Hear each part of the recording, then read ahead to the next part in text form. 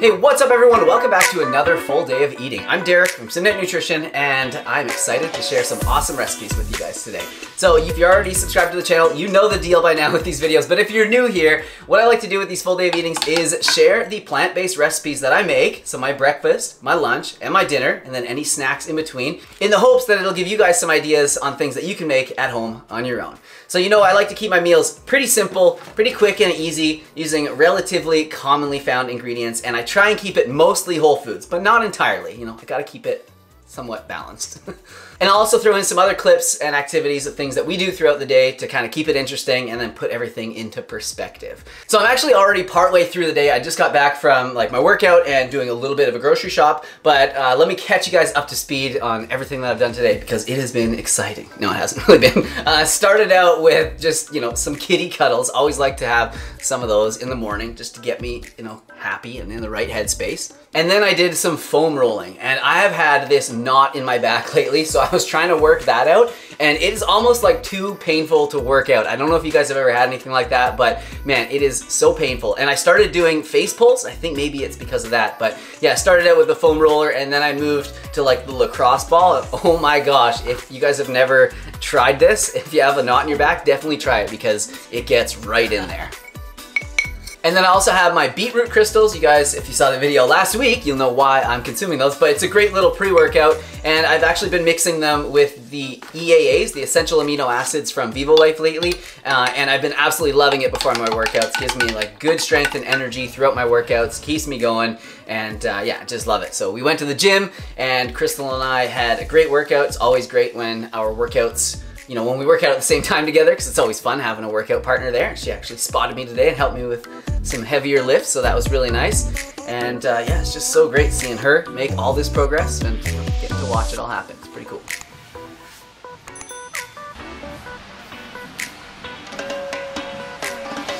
And then after that, we went to the grocery store because I had to pick up a few things. I actually needed like bananas and kale. That's like the bread and butter of this household.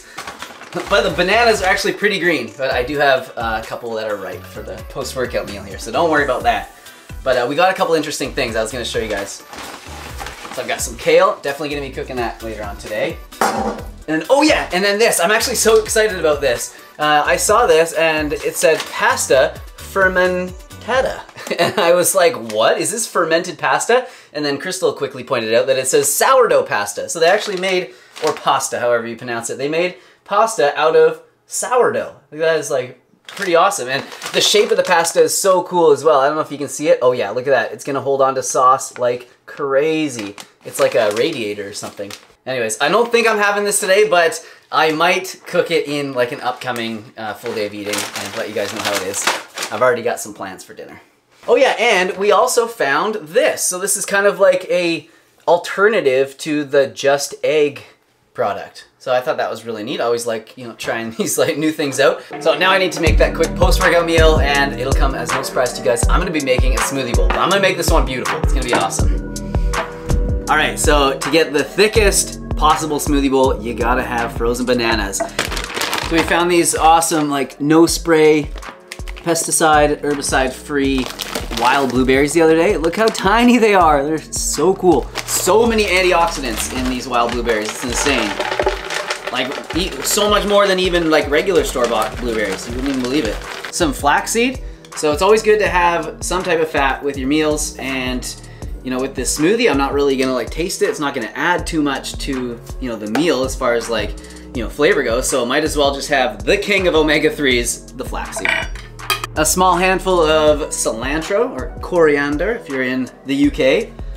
I know it probably seems like a weird flavor combination, but I really like it. But you can put any other green in if you want, like spinach is pretty neutral, right? I'm gonna throw a medjool date in there just to, you know, bump up the sweetness and the calories. And then a scoop of Vivo Life Perform. This is the salted maca caramel flavor. And then some creatine because I need all the gains I can get, especially with Crystal nipping at my heels, making all the gains these days. And then just a splash of water. I sometimes mess up here and I forget, I think I'm making a smoothie. I just like dump a bunch of water in and then you don't get a smooth bowl. So just a little bit of water. Oh, it's not plugged in. That's always a little nerve wracking. I'm like, no, is it finally broken? No, it's just not plugged in.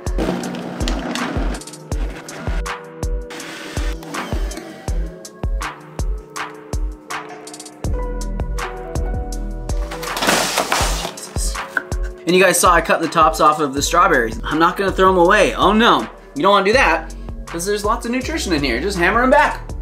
It's actually not that bad. But yeah, people are always surprised when I mention that I eat the tops of them. And they're absolutely full of iron, as you can imagine. Many dark leafy greens are. Lots of vitamin C. We know iron and vitamin C work together. So yeah, might as well eat the tops.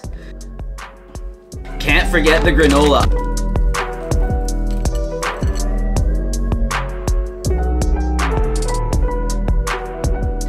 All right, so it's already, it looks beautiful. Now it's time to mess it up. All right, let's get a bite here. Mmm. It's like you're eating ice cream. It's unbelievable. But ice cream with like flaxseed and cilantro and protein and tons of antioxidants and berries.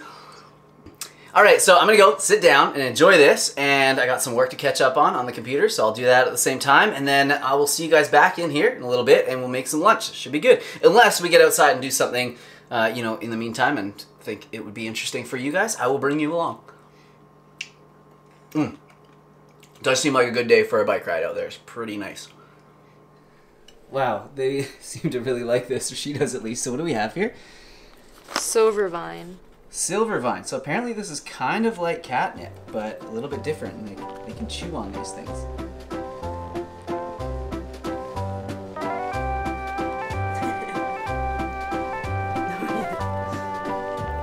she likes it.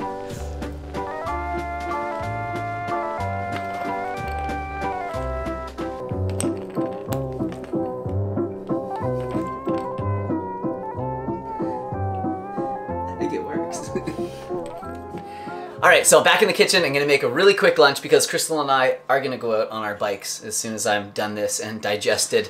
Uh, so I'm actually gonna make some soup and a sandwich for lunch. The soup is really simple. It's just gonna be this uh, like packaged soup. It's like a, what is it called? Super Garden Harvest vegetable soup. Uh, and then the sandwich that I'm gonna have it with is like a grilled avocado sandwich. And this one is so good. I absolutely love this recipe. And it's actually gonna be going in the next ebook that we're making. And I know this is like years behind, but I like dusted it off and I'm working at it again because I gotta get this out. And there's just way too many recipes sitting around not being shared with all of you. So uh, here's a little freebie, freebie from the upcoming ebook. And then you guys know they always skimp on the veggies with like the canned soups and stuff like that. So I'm just gonna put in a handful of these frozen mixed veg. All right, so with a little imagination, this kind of takes the place of like a grilled cheese sandwich. So just be open-minded. so I like to start by giving the toast, nope, the bread, a really quick toast. And while that's toasting, we can just open up this avocado, see if we got a good one. Oh yeah, perfect. All right, and then you just want a really thin layer of miso paste on one side of the bread, or toast now. kind of on its way to becoming toast. So you guys will know miso is like really salty, so you don't want to overdo this, but I'm telling you, it's just adds to the whole finished product and it's so good. But like I said, like the thinnest layer that you can put on because otherwise it's too salty. And then the avocado, I like to make them fairly thick chunks because, I mean, this is like the meat of the sandwich or the cheese or whatever, so you want this to be pretty substantial. And then on the other side, just some spicy brown mustard. Spread that around. And you can be pretty generous with the mustard. All right, and that's it. So now you just wanna close it up and grill it. Of course, if you wanted to, you could put like a little bit of like vegan um, butter or margarine on the outside. Uh, don't usually, but like, yeah, let's do it for this. So I don't know if you guys have ever tried this before, but this Miyoko's cultured vegan butter is out of this world. It's not a treat that I usually try and keep on hand because you guys know I like to, you know, try and keep it a little bit more whole than this, but sometimes these things are nice.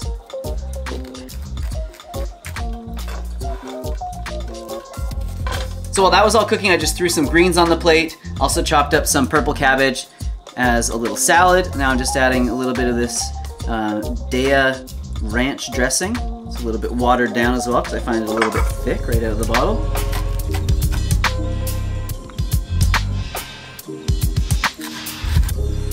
All right, so it is already actually ended up being a much bigger plate of food than I predicted, but that's all right. I'll definitely get it all down. So the goal with this was to like kind of, you know, dial in the recipe, try it out again, and then take some photos for the recipe ebook because that's always like the hardest part. I have tons of recipes, but I always need to get good pictures for the recipe ebook. So hopefully I can get something good today out of this. Who knows? But I know I did get a good meal. That's for dang sure. So uh, let me take a bite of this and I'll let you guys know how it is.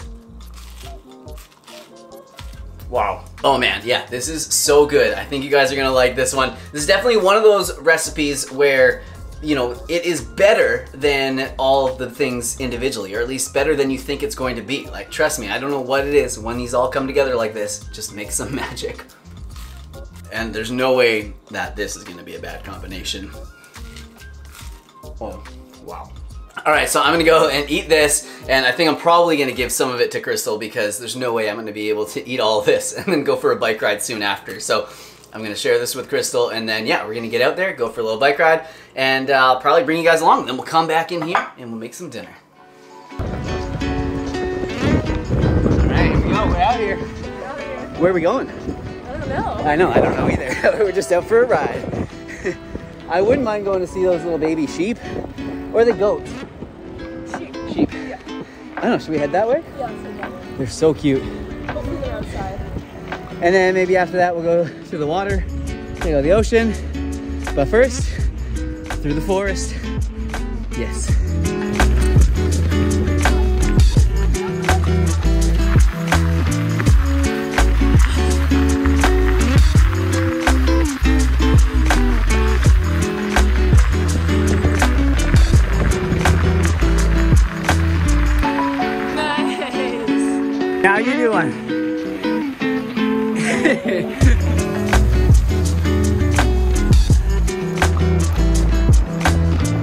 See them?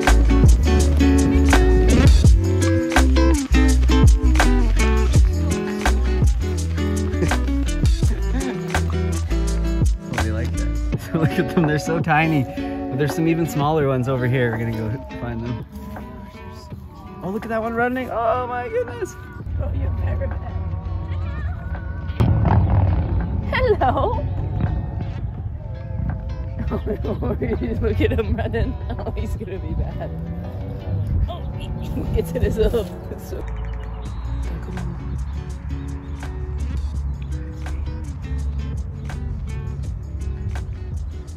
Oh, look. Hi, Mama. Are you bringing your babies over? Are you showing them off a little bit?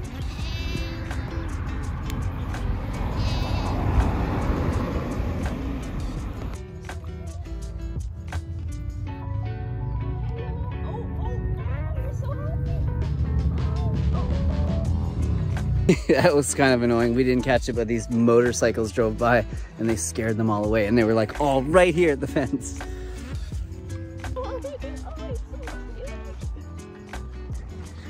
All right, what'd you think of that, Crystal? Best. So cute, well, eh? It was good, and then those, you know, bikers. Yeah, know, the guys with the- scared them away, but it was really good. Yeah, it was. So now you know why I'm a little late for the gym some days. Because yeah, no, this is our gym is just like just down the road from here. And yeah, I've been stopping and just checking out how they're growing up. They're so cute. All right, on with the ride. So we're just coming up on these beautiful cherry blossoms. And they're only like this for a little while, so I always like to try and include them in the vlog. Look at this. It looks like there's like marshmallows on the tree or something. It's so cool.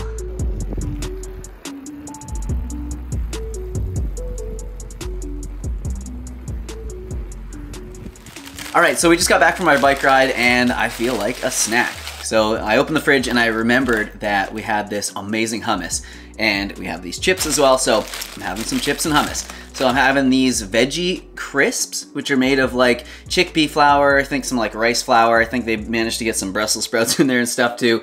Uh, they're really good and they're nice and light, perfect with hummus. So this hummus here we found kind of recently at Costco and it's like chip flavored and there's four different flavors and they have like dill pickle, barbecue, ketchup, and salt and vinegar, and they're all pretty good. the dill pickle is especially good though, definitely a fan favorite around here. And we also have these colorful cherry tomatoes, so I'm putting them in the bowl as well.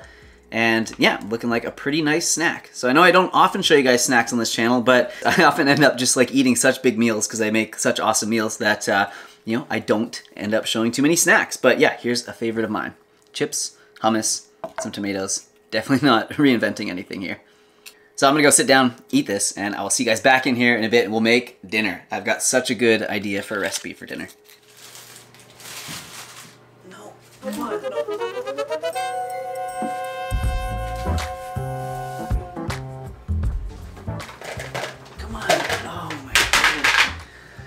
All right, so for dinner, I'm gonna be making some roasted garlic and miso, potatoes, and tofu on top of a bed of sauteed garlic kale. So these are all pretty simple little recipes, but the nice thing about this is you can use, you know, any one of the recipes like on their own individually, or you could have this like all as a meal like this. So I think you guys are gonna get a lot out of this meal, and I think you're really gonna like it because it's so delicious. These potatoes are absolutely fire and really simple as well. So I've already gone ahead and prepared a few things. I cleaned the potatoes and I chopped them into cubes, just about like one to two inch sized cubes. And then I chopped some firm tofu into cubes as well. So now I'm just gonna make that quick miso and garlic sauce to put on these, and then we'll throw these into the oven and then get onto the kale. All right, so I'm gonna start off with a splash of water, probably just about a quarter, maybe a third of a cup. And I'm using warm water just because it kind of helps everything to like mix and kind of melts the miso paste, which is going in next. So just a couple spoonfuls of this miso paste. I know this is probably gonna be two tablespoons or so. Lots of garlic powder, like I don't know, like two, like a two teaspoons, let's say. And then a little less onion powder, some black pepper, and then just a splash of maple syrup. Of course, you don't have to have this part, just kind of helps to balance things out, but it's not necessary. So then you just kind of want to mix this up. And it does take a little bit to kind of get the miso all mixed in. Just kind of have to like work it around. I guess you could I could have used a blender, I think, but I wasn't thinking that far ahead. So because I'm using this to cover both the tofu and the potatoes, I'm actually gonna add more miso. I usually only do the potatoes with this recipe, but I thought it'd be nice to throw the tofu in there as well and just bump up the protein of this meal. So you want it to be kind of thick, like, I guess like a paste. it doesn't sound too appetizing, but that's kind of the consistency we're going for.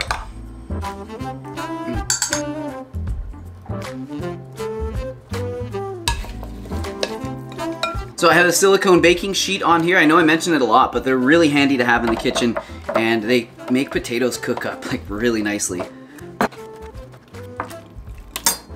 And the reason why I didn't just like mix it all together is because I'm not sure if the tofu is gonna cook first and I don't want, you know, to have to be like picking out the tofu if it's starting to burn before the, before the potatoes are cooked. So into the oven. And then I've got it on convection bake at 425 degrees Fahrenheit, and I'll probably be cooking this for about 30 minutes. And yeah, I know, it's almost 8 o'clock, a little bit late to be eating dinner, but that happens sometimes. Alright, so I have about 30 minutes until that's done cooking, and the kale only takes about, you know, like 5 or 7 minutes or so to saute, not very long. Uh, so in the meantime, I'm actually going to make a dressing that's going to go on top of the whole thing and it is just like the classic Simnett Nutrition tahini dressing. you just can't beat it, so, you know, why try and reinvent the wheel? All right, I'll walk you through it really quickly because I think it's important to know how to make your own dressings and sauces at home with stuff that you just like have on hand because that way you know everything that's going in there. I mean, we know the store-bought sauces have like a bunch of crap in them a lot of the time. Uh, they're often really expensive as well. And, uh, you know, I think this is a really important part of the whole deal because everybody knows how to like throw together a healthy dish of like a bunch of veggies and beans and rice or whatever, but making it taste good is different. So I'm gonna start with a splash of warm water again. so an easy way to make sauce taste good is to hit the three main flavors. So we have sweet, which I'm using a bit of maple syrup. You could also use a date for that or, you know, think, think of other things probably too. Sugar. And then salt, so something salty. Here I'm just using pink Himalayan sea salt, but of course you could use you know, seaweed, you could use uh, like tamari or tahini, um, Bragg's liquid amino, something like that. And I don't usually make it in this order. I usually add the salt at the end because that way you can kind of like add a little bit as you go. But I don't know why in my head I always think like sweet, salty, tangy as the flavor. So the next one we're gonna add is tang, and that is gonna be some apple cider vinegar. I think that lemon would probably go better with this, you know, because of the tahini and the kale and all that, but this will work just fine. So if you have lemon, maybe replace this for lemon. So mustard is also a good way to add some tang to a dressing because it does have vinegar in there and it has like that little tangy kind of bite to it. But what the mustard does is it acts as an emulsifier and it helps fats and the water to kind of all mix and stay mixed so it doesn't separate. And the fat that we're gonna be using, which is what often helps carry the flavors and gives the, you know, the dressings its body and all that sort of stuff, is tahini. And tahini's a little bitter, so adding the maple syrup as the sweetness kind of helps balance everything out anyways. So just gonna kind of freeball this one. Wow, it's a lot, but it's gonna be good. And I always like to make a little extra because then you have some in the fridge for the leftovers the next day. And then you just wanna add some flavor. So the old twin pillars of my cooking, garlic powder and onion powder are always a good call in this one. But of course you could add like some chili spice, you could add, you know, curry powder if you want. Uh, you could, you could go a whole bunch of directions with this. All right, now just mix it up. Definitely super thin, so we know we can thicken it with a little tahini. Ooh, yeah, this is a good one. Here we go.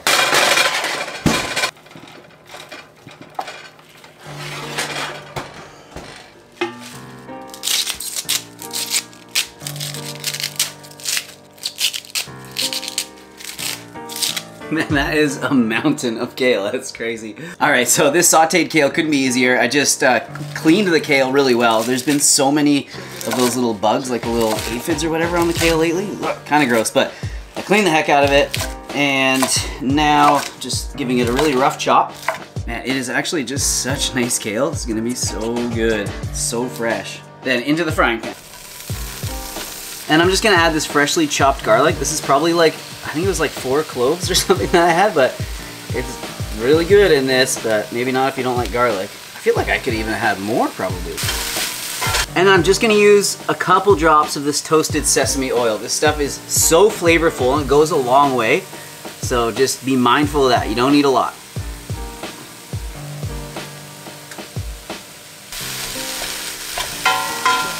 All right, so everything's pretty much done. Here's how the potatoes and the tofu turned out. They both cooked perfectly, so you can definitely cook these at the same time. 425 degrees for 30 minutes, and I flipped them halfway. All right, let's build these bowls. I honestly thought there was gonna be a lot more kale in this, but it's fine.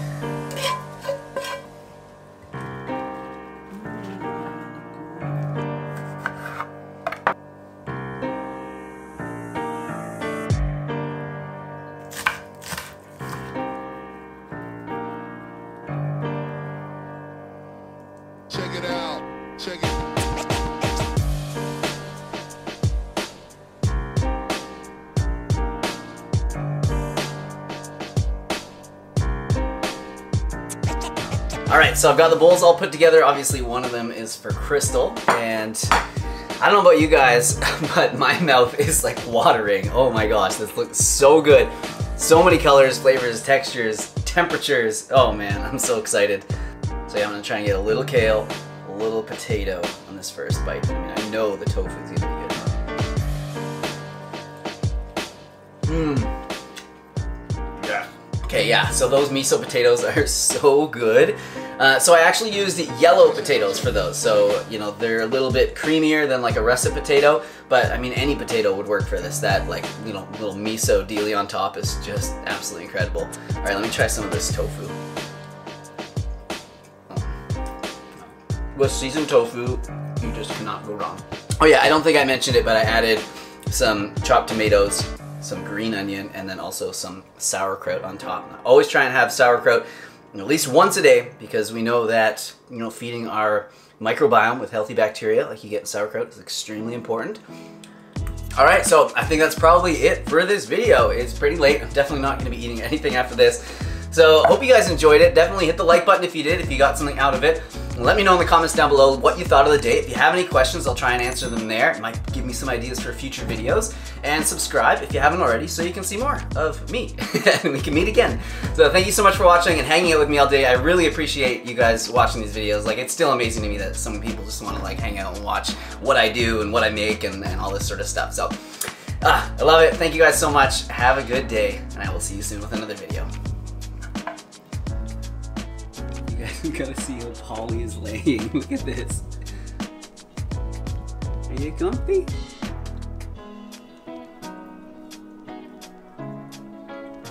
Do you have a question?